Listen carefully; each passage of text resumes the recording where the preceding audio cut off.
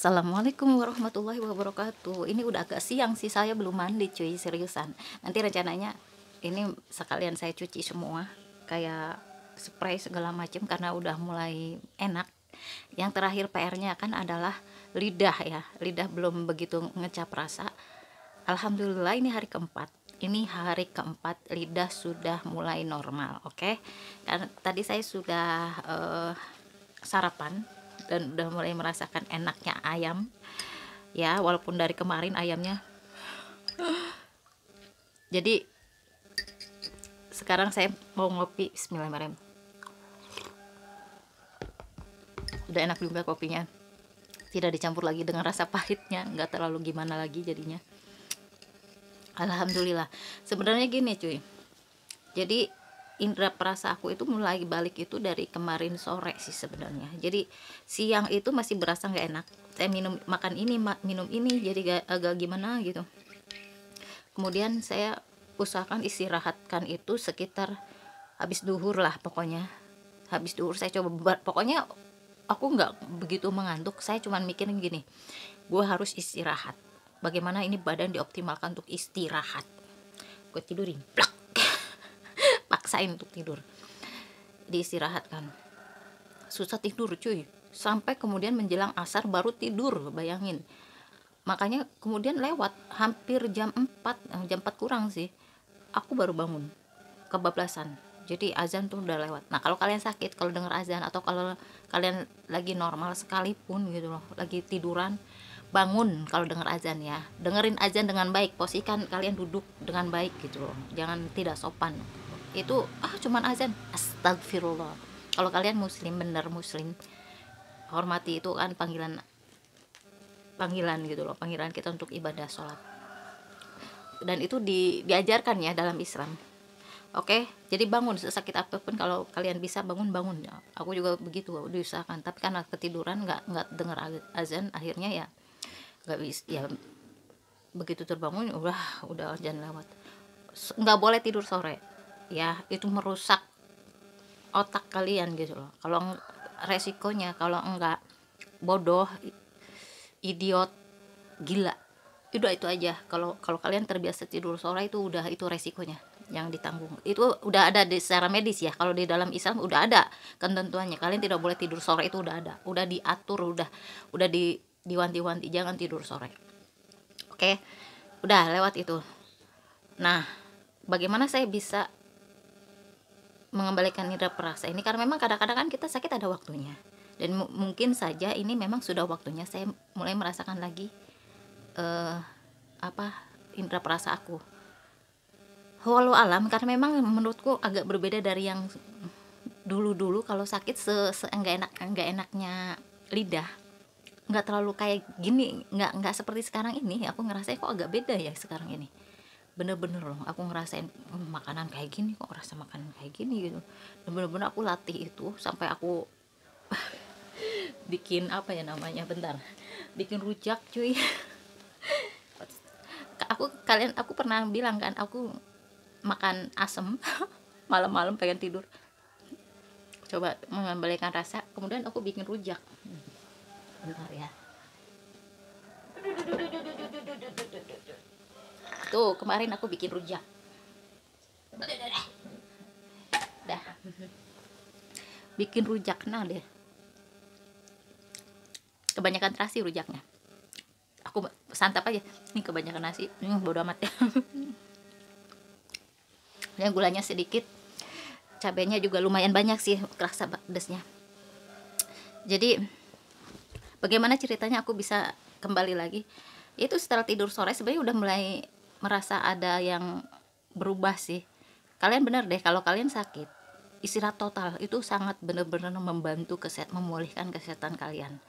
Otak kalian diistirahatkan badan kalian diistirahatkan. Jangan dulu mikir yang gimana gimana gimana gimana. Usahakan otak kalian itu tidak bekerja dengan sangat berat.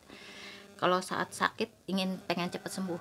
Nah yang nggak bisa cepat sembuh itu biasanya karena kaliannya tidak mau. Ya karena kaliannya tidak mau cepat sembuh. Sebenarnya itu sih yang menghalangi kalian cepat sembuh. Itu kadang-kadang psikologis kalian pola pikir kalian ya. Oke? Mulai hari keempat saya sudah mulai normal. Makanya sekarang rencana mau beres-beres kamar. Lihat tuh. Tuh tuh tuh nih. Berantakan banget di belakangku. Rencana saya hari ini pengen beres-beres kamar. Ah, sapu-sapu dan segala macamnya. Udah udah mulai sehat. Suhat udah. Uh, ya sudah kayak yang sebelum-sebelumnya lah masalah masalah kesehatan ya udah standar sekarang udah Alhamdulillah saya harap ini menjadi kayak semacam rahasia antara kita ya peristiwa ini soalnya kalau aku salah memilih tema aja ini bisa di band oke okay? gue kasih tahu ke kalian kalau saya memilih temanya terlalu vulgar ini bisa di band sama pihak ye oke okay? Dan saya sudah punya pengalaman itu cuy. Saya punya pengalaman itu. Uh, jadi oke okay lah. Pokoknya aku udah udah udah udah tahu lah bagaimana caranya ininya supaya kita tidak terlalu bersinggungan dengan hal-hal yang nantinya bikin masalah dengan pihak lain. Kita usahakan ya. Karena bagaimanapun aku pengen ngasih tahu ilmunya. Walau alam apakah cara saya mengembalikan uh, cap apa indera perasa ini mempengaruhi atau memang kan kadang-kadang gini karena kita sakit ya indera perasa kita jadi nggak enak gitu loh. Dan ketika kita sehat ya pasti udah biasa lagi. Tapi buktinya kemarin kita akunya badannya udah sehat indra perasa aku belum balik cuy. Justru yang yang terakhir yang terakhir kali belum belum sepenuhnya normal itu indra perasa. Yang lainnya udah pada normal termasuk aku pikir bagian badan itu bagian tangan ya. Karena yang masih kaku-kaku ini tangan udah baikan bang banget bener-bener beneran baik banget ini sekarang. Masih kaku-kaku gitu tangan. Bahkan hari ketiga itu masih udah mulai membaik tapi masih agak kerasa gitu di tangan. Sekarang udah mulai uh, luntur tangan udah nggak terlalu gimana banget. Udah udah normal. Nah justru yang mengejutkan adalah bagian lidah. Aku juga nggak menyangka. Kok lidah yang lama, yang lama ya? Justru semua anggota badan kita udah bagus lidah justru yang kok agak lama gitu agak gimana ya? Cukup menarik sih menurut aku. Makanya saya bilang juga ini kok agak berbeda dari yang biasanya. Biasanya nggak kayak gini loh aku sakit gitu. Sepahit-pahitnya kata orang ya kalau lagi sakit pahit lidah.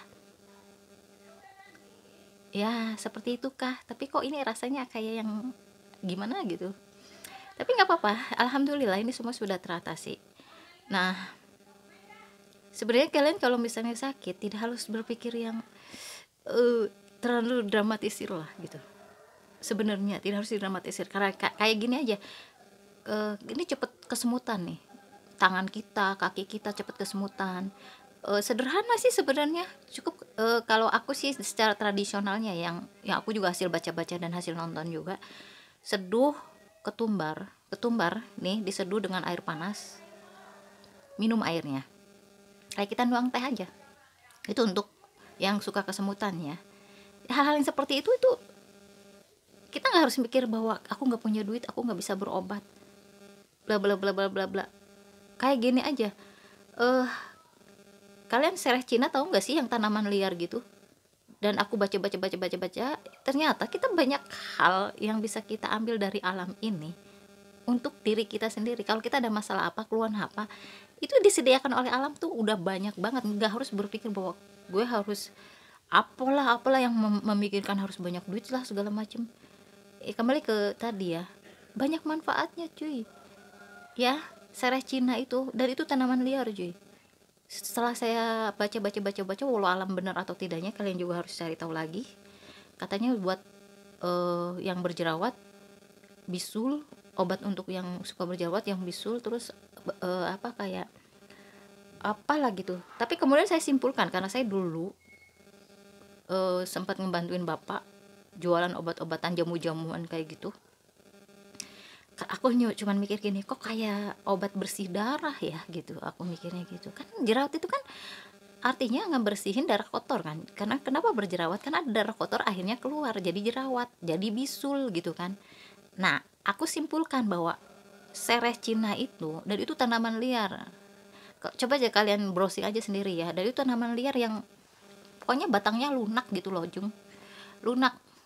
Itu tanaman liar aku pernah bikin videonya ya di kosan lama itu aku sempat bikin video. Eh bukan di channel ini jadi itu batangnya lunak. Batangnya lunak daunnya juga emang lunak sih. Itu serai Cina cuy. Coba kalian browsing aja sendiri ya. Ternyata setelah disimpulkan ya kayaknya ini bersih darah intinya gitu kan. Cuman nggak diterangkan bahwa itu bersih darah buat bersih darah seperti itu. Jadi kalian jangan panik kalau kalian sakit dengan kondisi kalian yang tidak memiliki kemampuan ekonomi lebih. Jangan putus asa. Pasti ada kan akan ada jalan ya. Termasuk gini. Uh, kalian berpikir sakit banget. Kayak katakanlah saraf kejepit. Ya katakanlah saraf kejepit. Dan saya sempat mengalami juga yang sakit punggung yang sangat berat gitu. Dan orang bilangnya itu saraf kejepit dan saya terapi apa coba? Ya kembali kayak yang yang seperti yang aku sakit kemarin yang sampai ke punggung-punggung gerasa semua badan kerasa semua. Terapi air panas bukan anget-anget kuku. Air panas yang masih kerasa pletok pletok pletok. Tapi jangan terlalu mendidih juga cuy. Di yang kira-kira kalian masih sanggup menahan panasnya itu. Tapi ya jangan jangan hangat-hangat kuku enak gitu ji. Enggak itu nggak akan memiliki daya untuk menyembuhkan terapi bukan untuk terapi e, jadi fungsinya kenapa air panas?